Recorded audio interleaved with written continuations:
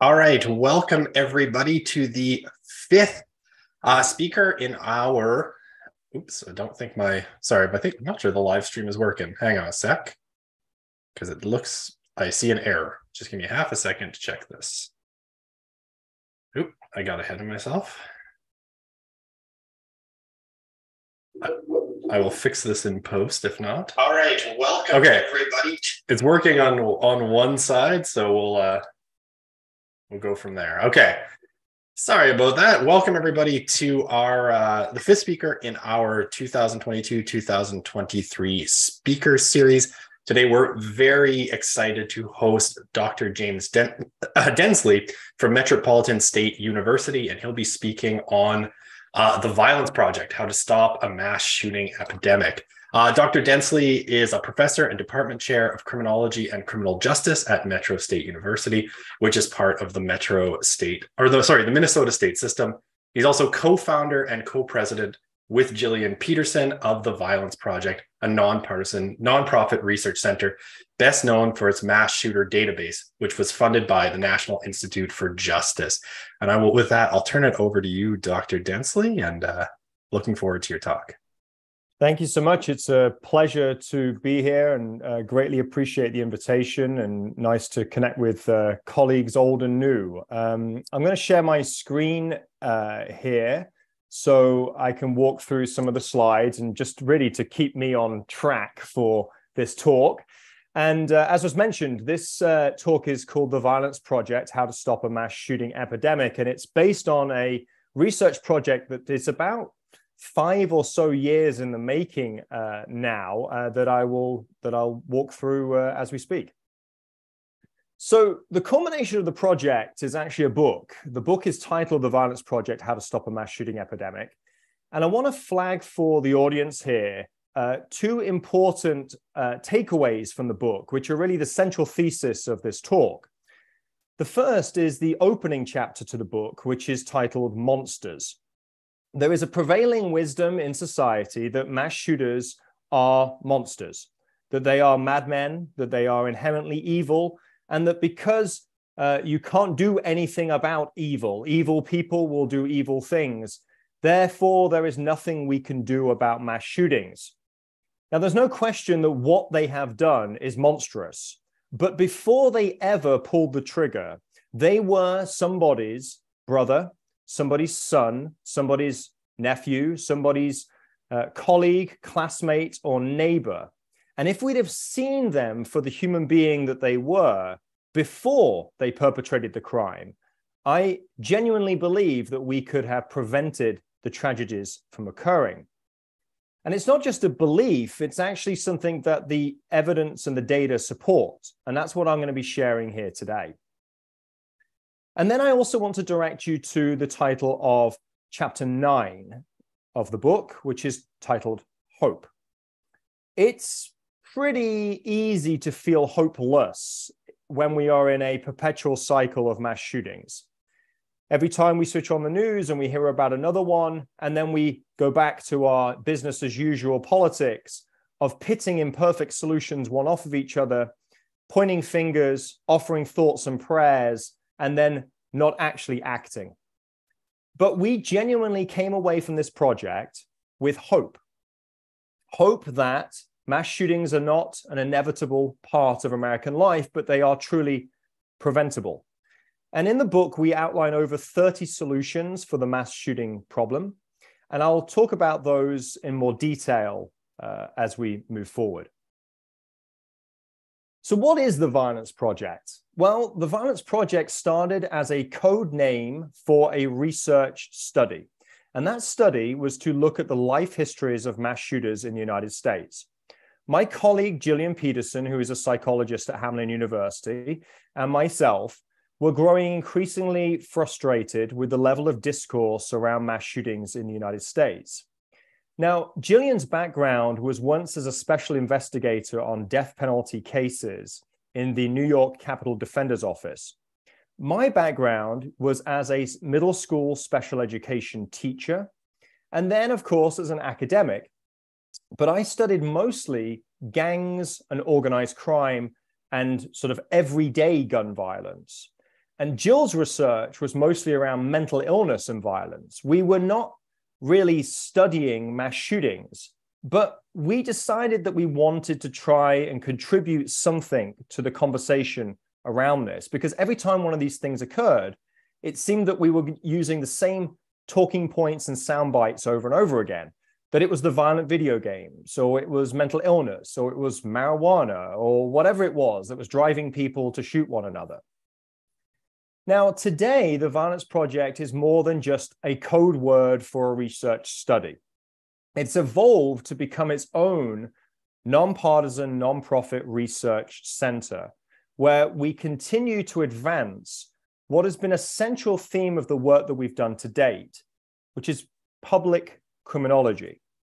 Now, there's a, a vast literature on the idea of public criminology. Um, this idea of being public facing in the work that we do in recognition that when you are studying an issue like mass shootings, this has public policy and practice implications, and it's of great interest to the general public because there is a fear of these events in society and that they drive sometimes quite irrational responses. For instance, in the United States, we run our kids through active shooter drills and we will send them to school with bulletproof backpacks because of an attempt to feel safe in these environments. So we made it a real point of this project to try and disseminate information publicly and to be very uh, public facing in the work that we have done with the Violence Project. And I'll talk a little bit more about that uh, later. Okay, so the Violence Project is a study of mass shootings. The first question, of course, is what is a mass shooting? And to be honest, we only have an hour here today. And if we wanted to get into the nuances of this, it would take a lot longer. So I'm just going to define it here as four or more people killed in a public space.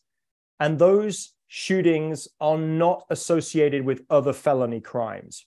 It's a very narrow definition. It's one that has been in existence for 20, 30, 40 years, but it is an imperfect definition. It excludes domestic shootings, for instance, which are the most common form of mass shooting. It excludes shootings where multiple people are shot and injured, but we don't reach that threshold of four or more people killed. And there's lots of reasons why it's imperfect, but there's also lots of reasons why, as with any social scientific endeavor, definitions matter. And this is a very specific phenomena. A mass public shooting is different and has different dynamics than domestic violence or a gang related shooting, for instance. And the literature there was very strong. There seemed to be a gap in our knowledge around this particular phenomena. And that's what we focus on here uh, in this study. So, what did we actually do? And again, in the interest of time, I'm not going to go into the complete nuances of methodology, but it, to suffice it to say that we built a database of mass public shooters. Now, notice I said shooters, not shootings. This is important. A lot of databases were already in existence which were tallying the shootings when they occurred. But they weren't necessarily doing a deep dive into the life histories of the perpetrators. And that's what sets apart our work from the others. That really, our unit of analysis is the shooter, not the shooting. We've coded these individuals on over 180 different variables. So we look at everything from their childhood, their upbringing, their mental health, their physical health, whether they played violent video games, whether they were using marijuana, and all the other things that the public is interested in when it comes to understanding these individuals, including how they got access to firearms. So, this project started in 2017 and it accelerated in 2018 when we received funding from the National Institute of Justice to really take this work to the next level. Now, the funding from NIJ was just for two years.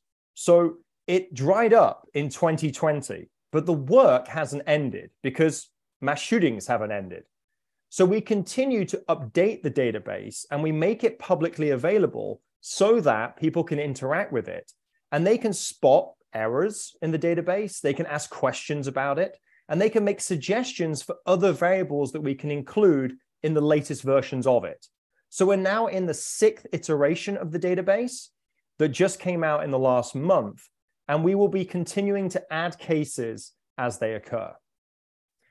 Now, the NIJ funding was not just for the database, which, by the way, is built on publicly available information. And again, we could talk methodology all day, but there's pros and cons with using public information. We try and triangulate that information. We try and rely on the most uh, valid sources and reliable sources. We are really using as best we can primary source material, but a lot of it does come from media reporting, which has its biases and inaccuracies and imperfections. But it's a publicly available database built on public data.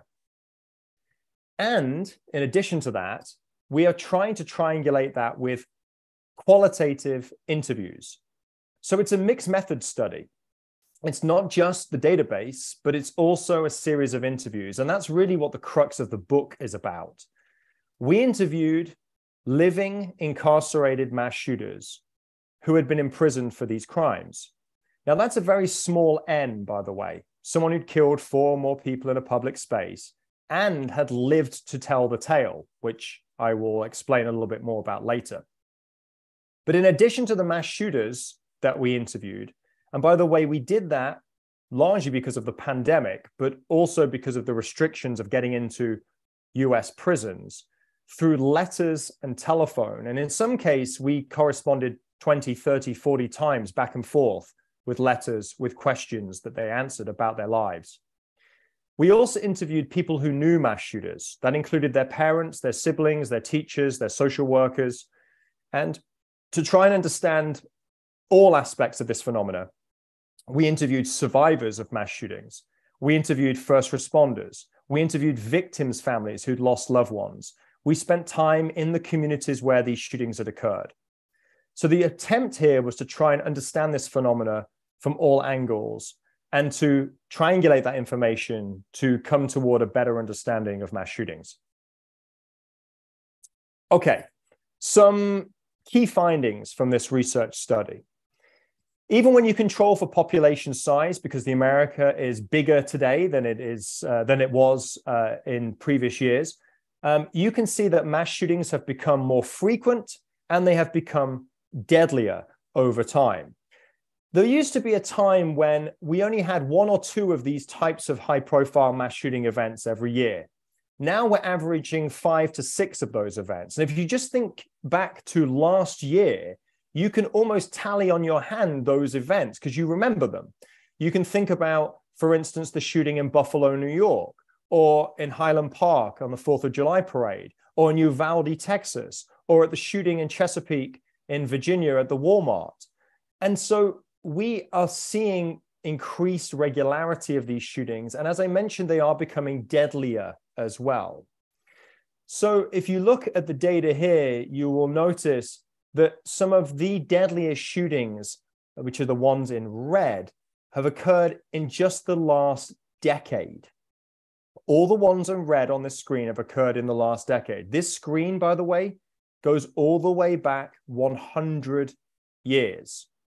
This is 100 years of mass shootings, the deadliest shootings, and the ones in red are all in the last 10 years. Now, our database goes back to 1966. The reason for that is because that shooting in 1966 at the University of Texas, Austin, is widely regarded as the first modern mass shooting because it's an event that unfolded live on radio and on the new medium of television. And it was that moment where this phenomena was beamed into people's homes and became part of the American uh, story. But there have been mass shootings prior to that event, as this table shows. What we see in terms of this rising frequency and deadliness is there are lots of different variables at play here, but our data enable us to at least interrogate some of the big critical questions that are often asked about mass shootings in the United States. So, for instance, what was the role of the federal assault weapons ban in terms of having a reduction in these types of events? Well, as you can see from the data in front of you, it's pretty inconclusive as to what that ban achieved. But what we can tell you is that assault weapons feature in mass shootings at an astonishing rate versus everyday gun violence. And that you can see that in the last 10 years, nearly half of all the mass shooting cases have involved a weapon that would have been banned under that assault weapons ban, which was in effect from 1994 to 2004. The prevalence of assault weapons in mass shootings is interesting because it's not just about the utility of the weapon, because any semi automatic weapon in the wrong hands is deadly. But there's something about a copycat phenomena with mass shootings where if you want your performance, because that's what these shootings are, a spectacle, to conform with the genre conventions of what a mass shooting looks like to the public, then you have to use the same props as the previous mass shooters have used before you. And there is an element of particularly AR 15 style assault weapons conforming to that narrative around if you want a mass shooting to look like a mass shooting, then you have to use this type of weapon. So, a little rundown of some of the key findings from our study. Who are the mass shooters? Because as I mentioned before, we were really interested in the life histories of the individuals themselves and not just an examination of the routine activities of the events. It will perhaps come as no surprise that mass shooters tend to be men. 98% of the individuals in our data are men.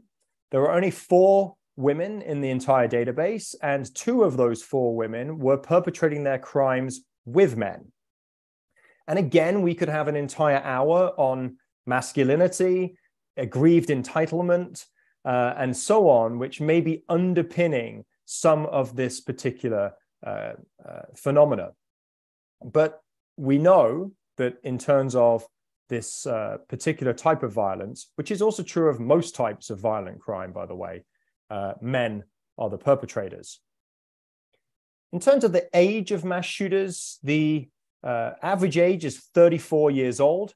Um, the median age is 33 um, and the modal age is 21 we actually see a, quite a lot of clustering at those young ages which explains by the way the mean and the median we actually see clusters in the 20s and clusters in the 40s and they average out to an age in the 30s but the more important finding is that it varies depending on place mass public shootings that occur in k-12 school shooting uh, settings for instance are much more likely to be perpetrated by K 12 school children. And so they trend younger, as you can see on the chart in front of us. Shootings that occur in factories, office spaces, and in governmental buildings, which tend to be uh, perpetrated by individuals with an existing relationship, usually as a workplace shooting, tend to trend older. And again, this makes sense if you think about we are human beings who are creatures of habit, and we tend to target the places that we know the best. We also maybe have an underlying grievance with the, with the place, hence this type of uh, breakdown. And in terms of race, one interesting way in which our data challenges some of the conventional narratives around mass shootings is there is a perception in society that mass shooters are exclusively white men. But what the data actually show is that they are relatively proportionate to the US general population. In fact, white mass shooters are underrepresented, black mass shooters are overrepresented, and Latinx mass shooters are actually massively underrepresented in the data. But again, it varies by location. So, what you see is these interesting sort of trends where, for example, shooters at house of worship who tend to be targeting those locations because of an underlying, maybe ideological uh, white supremacist agenda tend to be white. Whereas shooters in governmental buildings and in workplaces maybe are more diverse. And that might be reflective of perhaps institutionalized racism in society and grievances being attached to the workplace. Okay, I'm going to outline now four what we think are the most important findings when it comes to thinking about prevention. Because in the end, when you're studying something like mass shootings, the data are the data. But there is value in descriptive analysis just as much as there is in some of the high uh, profile fancy statistical work that usually is done in the criminological field. And even descriptive statistics from a cross sectional sample like this, we think can be quite illustrative to rethinking this phenomena and how we go about saving lives. So, first and foremost, in some of those locations that I just mentioned, factories, office buildings, governmental spaces, these tend to be workplace shootings. In college or university settings, K 12 school shoot, uh, settings, and also houses of worship, there's usually some sort of existing connection between the shooter and the location. This is important because there's an entire multi billion dollar safety industry predicated on the idea that mass shooters are outsiders that we can lock out. But in fact, mass shooters are insiders. They are people that we know. They're walking through that same security just like the rest of us. And so we have to be much more attuned to what's going on in the lives of the people around us to recognize them before they become the shooter.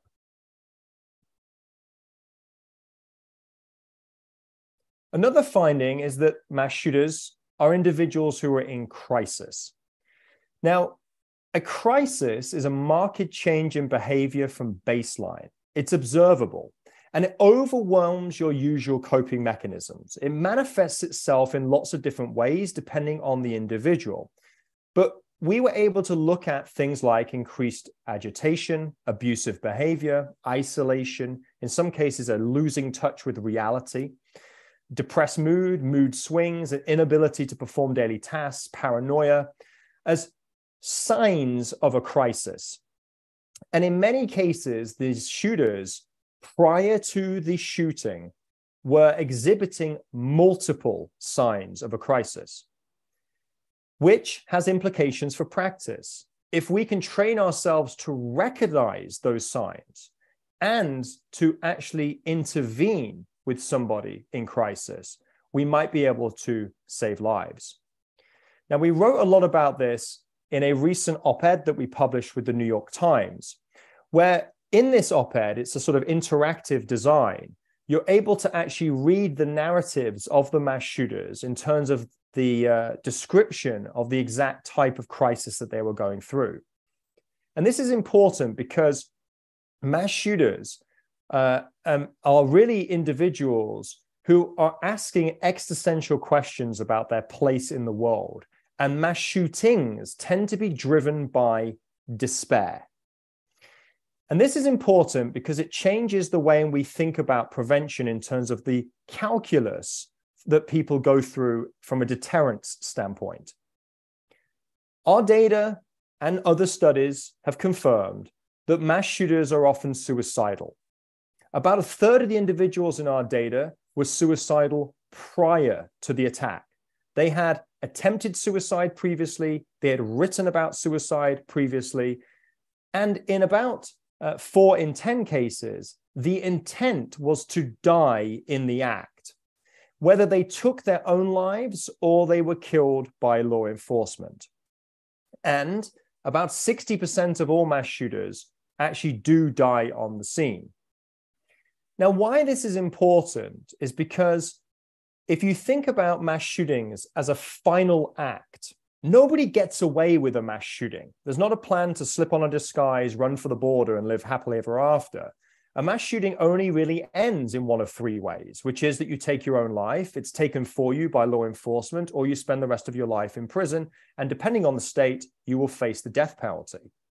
That changes the way we think about, for instance, armed security in our public spaces. Perhaps they're not a deterrent to this type of crime, but it may be an incentive to perform it.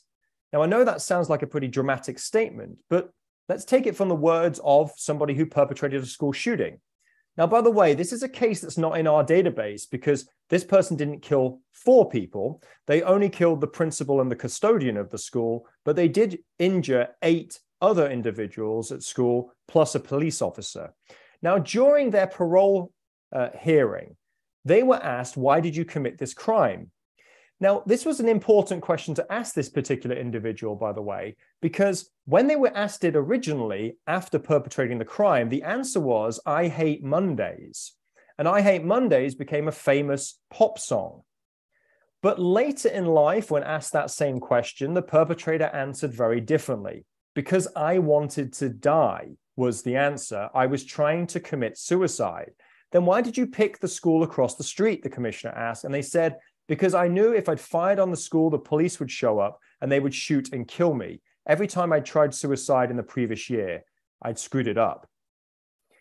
Now, we ourselves, in our interviews with mass shooters, heard very similar narratives. One of the school shooters in our book that we interviewed, not this individual, also said something very similar. Their intent was for the school resource officer to shoot and kill them. It didn't happen that way. The school resource officer just rugby tackled them, and they ended up spending the rest of their lives in prison. But a mass shooting was and always is intended to be a final act.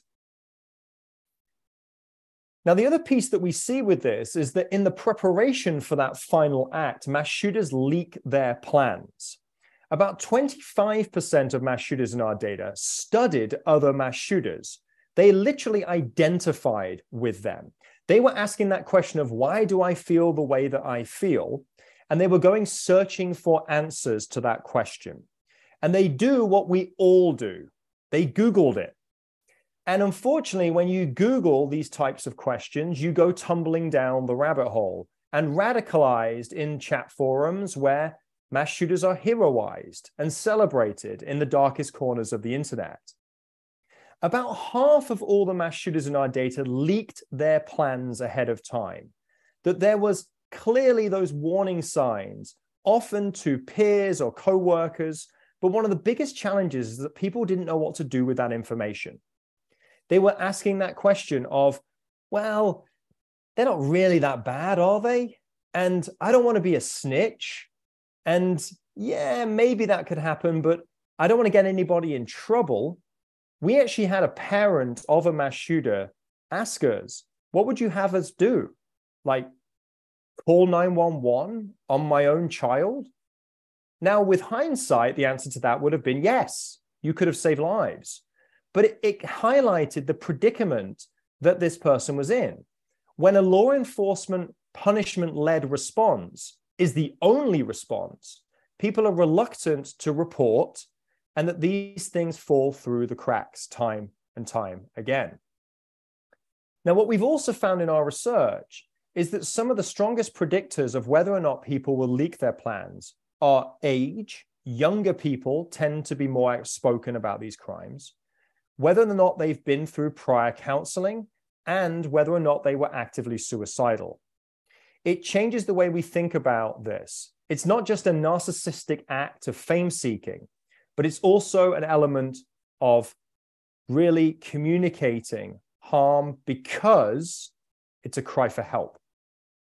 And if it's a cry for help, a last ditch attempt to see, will anybody pay attention and notice me? And we don't respond, then the violence follows. So these key findings lay a foundation in our work for what we call not a profile of a mass shooter, because that's not what we're in the business of doing, but a pathway to a mass shooting. We outline this in detail in the book, there's not enough time to go through it in laborious detail here today. But we find that there's a lot of early childhood trauma in the lives of mass shooters, which lays a foundation because it's unresolved for the crisis that follows later in life that overwhelms that person's usual coping mechanisms. The crisis is often a suicidal crisis, and it's at that time where people start to mobilize toward this type of violence. They start to research other shooters, identify with those that have gone before them, and become radicalized to this type of a violence, which then means that what is next is the opportunity to perpetrate the crime. If you can get access to the people and places that are representative of your grievance and access to firearms, then you have the uh, violence uh, that follows.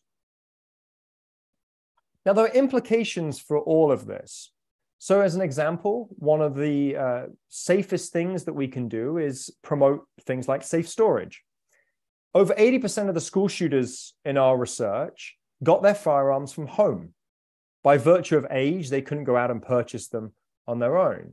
Safe storage is a example of a way we could address that opportunity part of the equation. Because this is the thing that we try and advance in our work. If you think about those four steps on the pathway as four inflection points, each one is an opportunity for intervention. But for too long, all we've done is focused on the opportunity component, which is not getting upstream enough of the crime before it occurs. So, yes, there's work to be done in opportunity. This is a prime example of it.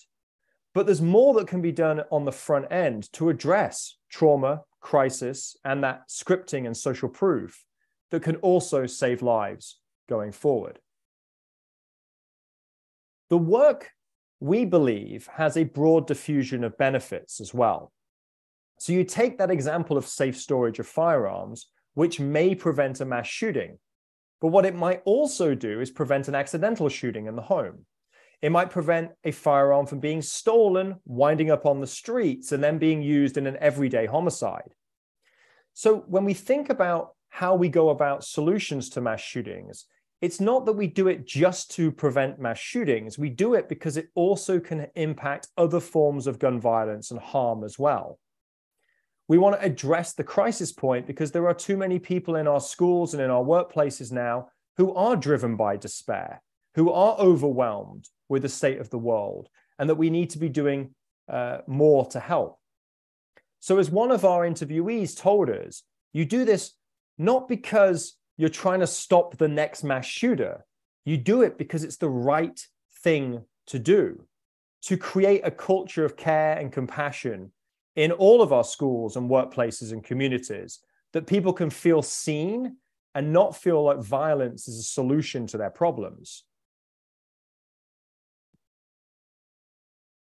Now, the analogy that often got used during the global pandemic was this of Swiss cheese. And we write about this in the book too. For too long, we've pitted imperfect solutions off of each other. So, what we've tried to do with the book is to layer solutions. We talk about things that you can do to stop a mass shooting at the societal level. And that may require an act of Congress, and it may require some action from policymakers, and it may require some funding to really achieve the, the, the real goal. But we also talk about things you can do at the institutional level in schools, in workplaces, in communities. For instance, building threat assessment or crisis response teams in schools, or to uh, promote safe storage of firearms and so on. And then things we can do at the individual level, mentoring the young people around us, uh, pledging right here, right now, that if you have a gun in the home and a teenager, you'll keep it locked up and secured. That if we layer those solutions at the societal, institutional, and individual. You can tell I was a gang researcher, by the way. It's very Jim Short. Um, then you know what I'm talking about in terms of trying to get to a better solution. Swiss cheese, right? Each one of these things has holes in it. But if you layer them one on top of each other, the holes start to fill in and you get toward a more perfect solution. That's really the intent with the recommendations that we make in the book is to recognize that there is no one size fits all. But we also don't need to pit mental health off against guns because it can be all of the above if we go about it in the right way. And it also doesn't have to infringe upon anyone's Second Amendment rights or the other big political sticking points. Okay. In the last bit of time I've got before we open up for some questions, I want to come back to this point that we've been trying to intentionally do this work through the lens of public criminology to practice what this means. And I want to just talk through what we think it means, what we've been trying to do with the project, but also the pros and cons of public criminology as we try and promote it for others to be thinking about in their own research. Now, it really started for us with this op ed in the LA Times. Now, I'll let you in on a little secret with this op ed. We shopped it to some other locations before the LA Times, and they all told us no. Not only that, the LA Times also told us no. So, the first thing about public criminology is you must be persistent. If you think it's hard to get into a peer reviewed journal, I assure you it's a lot harder to get into the New York Times. But you just have to keep trying. And here's the reality timing is everything. We submitted this op ed at a time when there hadn't been a mass shooting and it was rejected. But 48 hours later, there had been a spate of mass shootings, including one in El Paso, Texas, at a Walmart that killed over 20 people. And the editor at the LA Times contacted us and said, Yeah, we were a little hasty on that reject. Maybe we should publish, which they did on a Sunday. And this article was uh, read over a million times in the first few days of its publication. It went viral on social media, which was a very sort of overwhelming experience, and it was getting support from all sides of the aisle in terms of this holistic approach to thinking about the mass shooting phenomena. And it was at that moment where we realized that this research project was more than just the research projects that we've been accustomed to doing previously. So, what we did is we turned the Violence Project into a non profit organization in an attempt to keep the research alive because the NIJ funding had dried up, but the mass shootings hadn't gone away. And the public still had those same questions, and they wanted a place to go to find answers. It also turned out that practitioners had questions and they wanted resources that they could use to actually affect change within their organizations and within their communities. So we built a spin off website called Off Ramp. It's a little cheesy, but we say the road to violence is long and you got to build more off ramps. So you, we now have a hub for information for people to engage with. So the question is do people engage with it? Well, there's one way of looking at that, which is you can look at the data. So, in the aftermath of the shooting in Uvalde, Texas, for instance, that website got 42,000 visitors, and we had about 82,000 page views of the database, which, by the way, we gave away for free. And a lot of people in academia thought we were crazy to do so because when you build a database, you should therefore publish off of it into perpetuity, and that's how you build your career. But instead, we made the database publicly available before we ever published anything with it. We wanted to get it into the hands of other academics, researchers, graduate students, journalists, the general public, so they could interact with it and they could use it for the same reason we want to use it too, which is to stop mass shootings. So this has really been about public dissemination of data.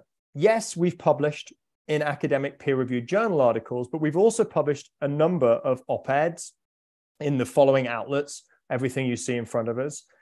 And we've also collaborated with um, the New York Times, ProPublica, Voice for America, the LA Times, on a series of works that have tried to translate the database into tangible findings for the public. One of the highlights of this, I think, for us was being the cover story of Time magazine uh, after the shooting at Uvalde as a way of, again, trying to communicate our findings to a general audience that really is the ones on the ground addressing this phenomena and trying to do something about it outside of the ivory tower. We've tried to publish in open access journals. We're very committed to the ideas around open science for this reason. And then the book was published with not an academic publisher, but with a mainstream uh, publisher. And I can safely say that for the first time in my life, um, I was ahead of Truman Capote um, on the charts when it came to uh, book sales because of the appetite for this type of a work. If you make it accessible, people will engage with it. And that's something that we genuinely believe in the course of this work. Now, a lot of this involves a lot of media uh, work, which at times is exhausting because you are basically saying the same thing over and over and over again to, to the, uh, the audience. And there are times where, in the aftermath of a mass shooting, Jillian and I may receive 50 to 100 media requests in a 24 hour period, and our inboxes are completely uh, bombarded, and we don't really know what to do with them all. But what we've really tried to be do- doing with this is to speak to everybody. So, one of the things that we've been really successful in is we will talk to Fox News and we'll talk to MSNBC and we'll do it on exactly the same day and we'll say exactly the same thing to both. And what's been remarkable about that is the way in which the project has been able to transcend those kind of political lines that usually hold us up from moving forward with this type of work. Now, being a public criminologist also means working with policymakers and practitioners. Our work has been featured in amicus briefs for the Supreme Court.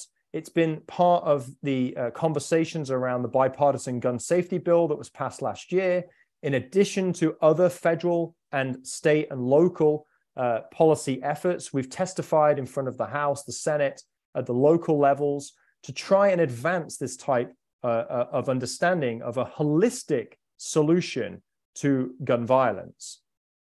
We collaborated locally in Minnesota with our Bureau of Criminal Apprehension, for instance, to try and get them more resources for a new uh, anonymous reporting application uh, to get that out to schools if people wanted to report threats of violence. And we are now collaborating with the St. Paul Public Schools on a new project, which is trying to evaluate the state of violence in those schools, and then also advance that work to create a customized school safety protocol, which includes hiring violence prevention community specialists to be doing this work in the school system. So I will conclude by saying this. The Violence Project has been, without question, the most rewarding experience of my professional life. I've got the opportunity to spend time with survivors of shootings, victims' families, spend entire weekends with perpetrators' families to understand their perspective and their lives. And the opportunities that this project has afforded us have been at times completely overwhelming and have really uh, taken this project to another level. It is, like I say, a privilege to be part of this type of research and to really feel like you're making a difference, which I think is what all academics want when they enter this profession. But at the same time, it's challenging work. Jillian and I have received death threats for the things that we do. Um, presently, uh, her office on campus is unmarked and is next to the security department because of those death threats. We uh, continue to receive way more emails than we can ever respond to from concerned parents, from school district leaders, from people who just want time to talk about these issues and do something about them. There's also some, at times, issues within the academy around doing this type of work. People feel like you're selling out or you're not really doing real academic research because your statistics are only descriptive, for example. And this is frustrating if we really want to be in the endeavor of advancing research that can have an impact on a public uh, level with policy and practice. And I think as well, it's challenging from a time uh, perspective when you think about the additional demands that public criminology places on academics beyond the already huge demands and challenges of an academic career. And a lot of this stuff, by the way, is not supported, is not funded, is not going to look good in your tenure and promotion packets because of the incentive structures that exist within the system. But personally, I wouldn't change it for the world. And so, with that, I thank you for your time here today. And I'm very happy to answer any and all questions uh, in the spirit of public criminology uh, about this project. So, uh, with that, I'm going to stop share and uh, thank you very much.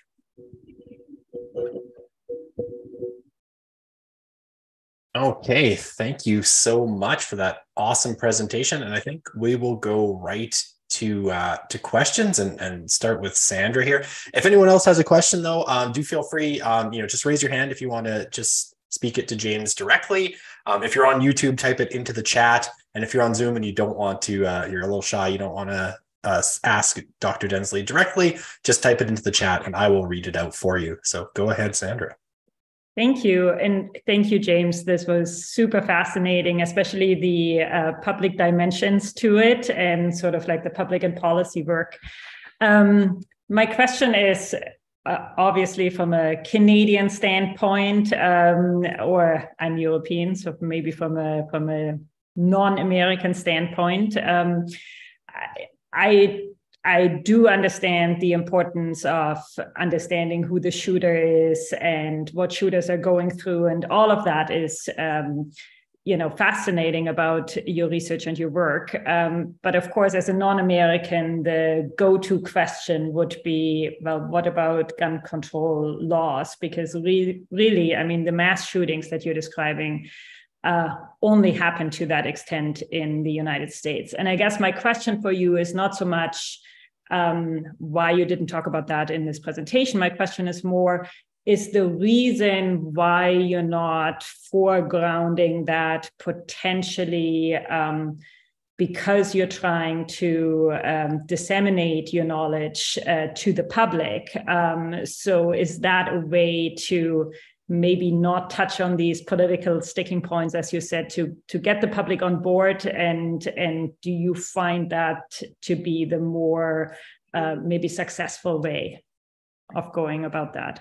That's a that's a fantastic question and i'll i'll try and i'll try and answer it uh, on multiple levels because it's a it's a great question. So we have a chapter in the book it's the second chapter of the book it's titled america and you know i'm a sociologist by training. And so we do have this kind of like cultural look at the us of what makes it exceptional with this regard. And you know, other researchers also looked at this too. I don't want to claim all the credit for this. There's some great work. Adam lankford for instance is, a, is an individual who's done some great work in this area.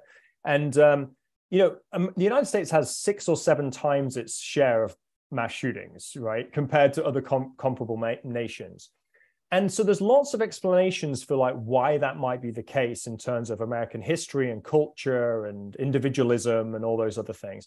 But of course guns is a big part of it. So the uh, eighth chapter of our book is all about opportunity.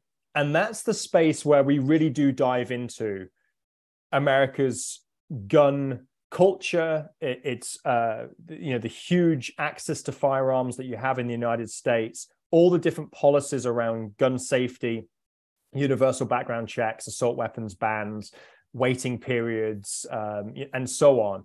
We go into all that in, in a lot of detail.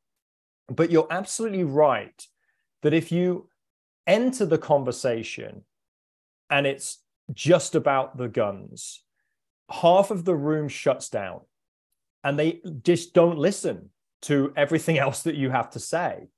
And so we have found that strategically, you have to have that sensitive balance of yes, it is the guns. There's no question it is the guns, but it's also the guns layered on these other things too. And it's being able to kind of navigate that in a way that that ensures that people don't shut down and that they continue to engage in the work, which is really important. And I'll just share one other thing, which is our database is focused in the United States. And we did this work with a number of volunteers, uh, many of which were undergraduate students, actually, which is also a huge thing. Working with undergraduates was fantastic. But we tasked some students at one point to try and build a comparable database for Canada. And we said, you know, have a look around, look at some cases, come back to us, and we'll see whether or not that we have the resources to do it. And they came back to us about an hour later and they said, Yeah, there's been like eight cases or something.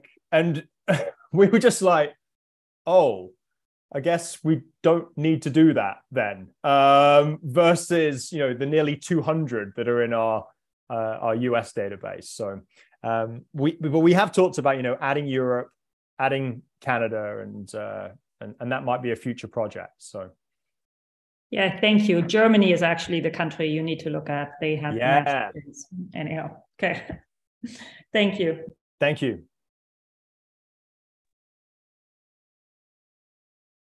Yeah, Jeff, I have a question. Go ahead, Tope. Yeah, thank you. Uh, well, thanks, James. That was amazing. I, I absolutely enjoyed every part of, of your presentation. So uh, thank you for that. So I wanted to know um, what your experience has been like vis-a-vis um, the reception of political leaders um, to some of the ideas that you have put out. Uh, my experience in Canada, well, specifically in Alberta, has been that access, even at the highest level uh, of government, does not always guarantee change. Um, the tendency is towards relatively half uh, half measures as, as, a sort of hybridized response, uh, a kind of balancing act between the ideological commitment of the, the party in power uh, and the recommendations that you make. And that's not to say that they ignore or reject your recommendations. They know these are good recommendations and they are, you know, uh, socio-scientifically sound, but th- there is that uh, base that's out there. It's a, what, and, and this is not like a, necessarily a conservative thing. There's there's cuts across uh, various political parties. So, what has been your experience in the states? I saw that picture where you were in front of the, uh, I believe it was the Minnesota House. Um, what what has that been like? Are they uh, putting into policies, putting into law um, some of the recommendations that you've been making? And if yes, they, they really go into full hog, or are you finding that they, they're sort of tweaking things, and in the end, they, the product gets so watered down that you go, okay, what is this about? Go ahead. Yeah, thank you. That another great question. Yeah, so I think you know what's interesting when we very first started the work you know we weren't seasoned lobbyists and you know skilled at working with politicians and to be honest we kind of uh, stumbled into this when we had these opportunities to kind of testify and we didn't know what the rules and regulations were and i mean i'm originally from great britain anyway so like this whole thing was new um, but what has been quite surprising is the politicians that have read our work prior to you know these conversations and then have then sort of encouraged us to be as open and transparent in the conversations as possible as if everything's on the table. And then recognizing you know what might be politically advantageous or not is going to sort of dictate the outcomes but one of the most incredible things that happened recently um, was we were testifying uh, in the Minnesota House, and they they said, "Does anyone from the floor also want to testify?" And the Minnesota Gun Owners Caucus testified, and I'll be honest, I thought, "Oh boy, um, what what's about to happen here?" And they said that we would like to support the work that the Violence Project is doing. Um, we believe that they are taking a truly nonpartisan, unbiased approach to the work. And even though we may not fully agree with their recommendations on gun safety, um, they're going about it in, a, in the right way. And we don't have any complaints about that. And they sat back down again. And, and I was just like, wow, that that I was not expecting that at all. And I think it it was a sign for us that we've been able to kind of break down some of the political barriers.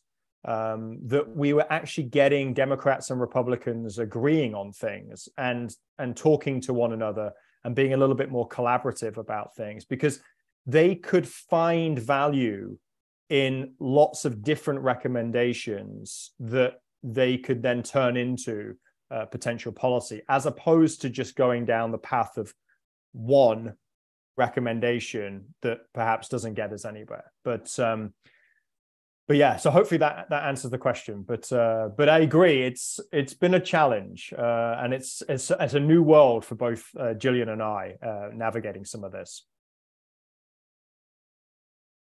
Thank you.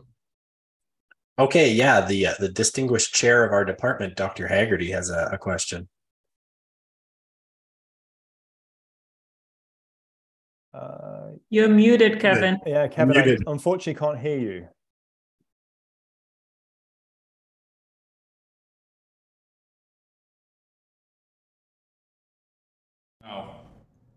Ah, yes, that's, okay. that's great. Okay, sorry. Um, configurations. Um, yeah, I love the talk, and I, I loved your piece in recently in the New York Times. I shared it widely, so thank you. Thank you. So, so the question is, notwithstanding this gun ownership group, my cynicism is, is it possible that the ship has sailed on this issue? That a significant proportion of the American electorate has essentially normalized gun mass shootings as a risk of urban environments the same way as traffic accidents or train derailments or whatever.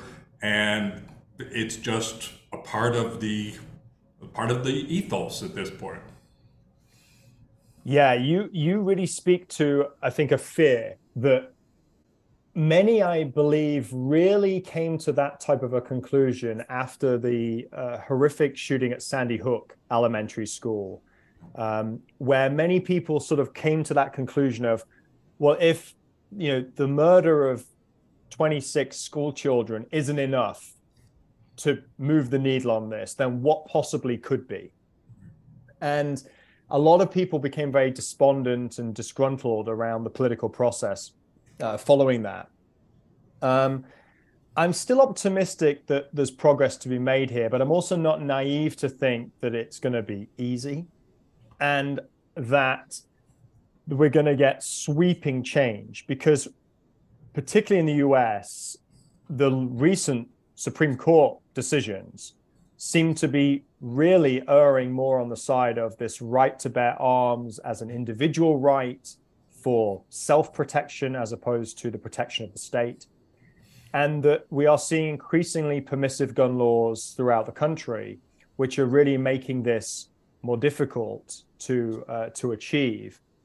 Um, but at the same time, it's kind of like, but you don't want to give up the fight um, because it's worth fighting for. And I think we just have to continue to be very data driven and let the evidence speak for the need for action on these. But I certainly have experienced a little bit of, of that myself with the most recent mass shootings.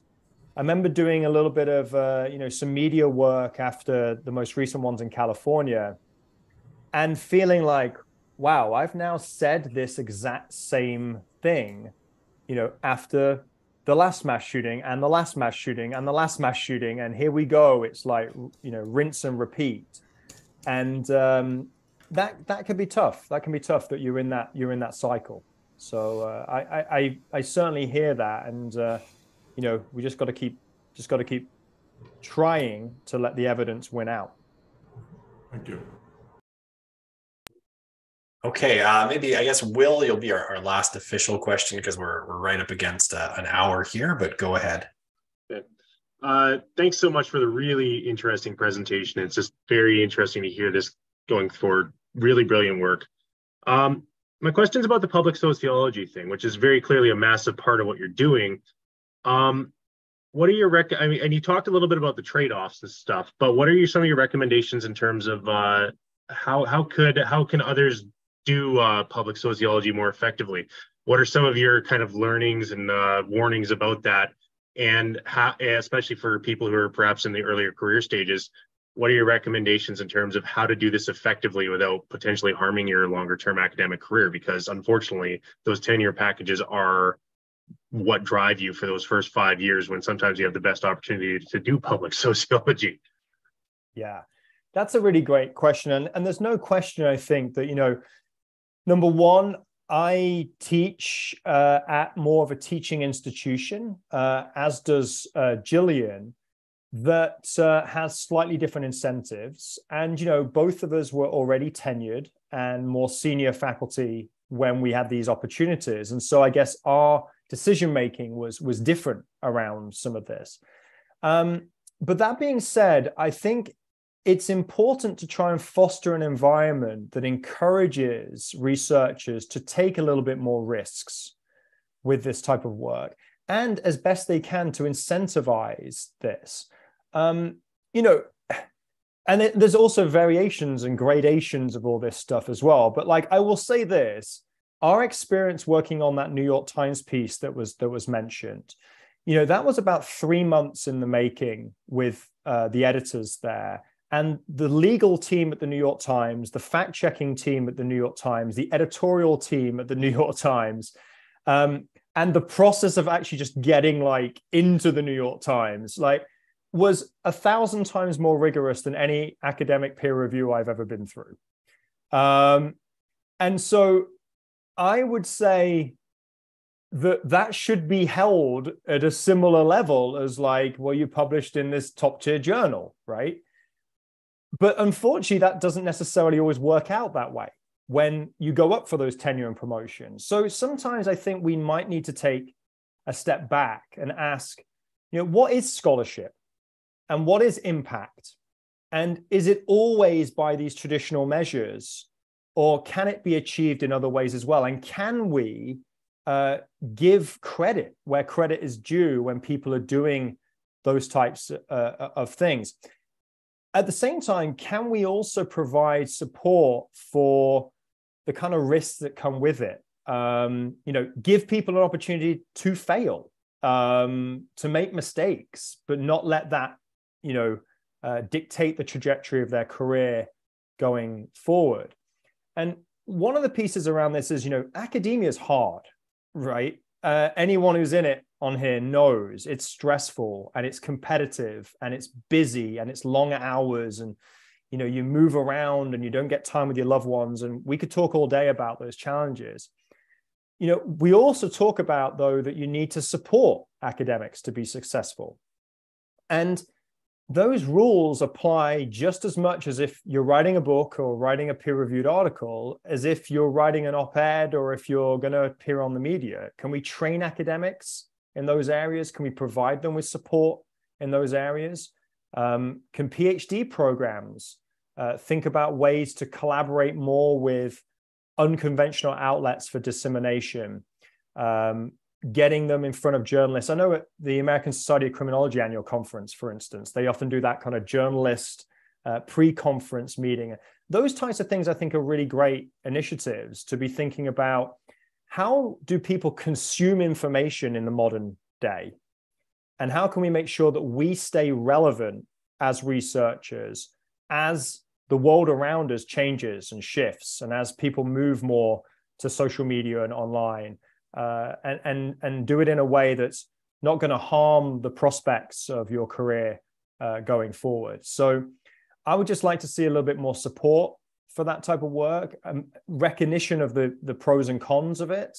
And uh, maybe we can also be maybe more strategic about it uh, going forward to ensure that people can be successful with it.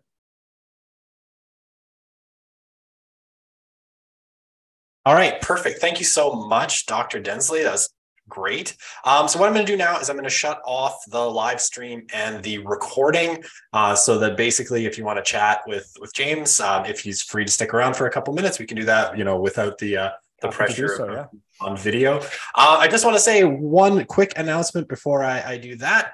Uh, next month, we've got our sixth and final speaker of the year coming up on March 31st. It is Walter DeKeseredy, and he'll be giving a talk very apropos for, uh, for Northern Alberta a new theory of globalization, natural resource extraction, and violence against women towards solving the linkage problem. So keep an eye on our social media. And if you're at U of A, um, we'll have that going out by email. And, uh, you know, I think we're in Artstown Crier and all the kind of big newsletters now. And on, on our website, the CCR website, um, you can find all of the announcements for our events there. All right. So thank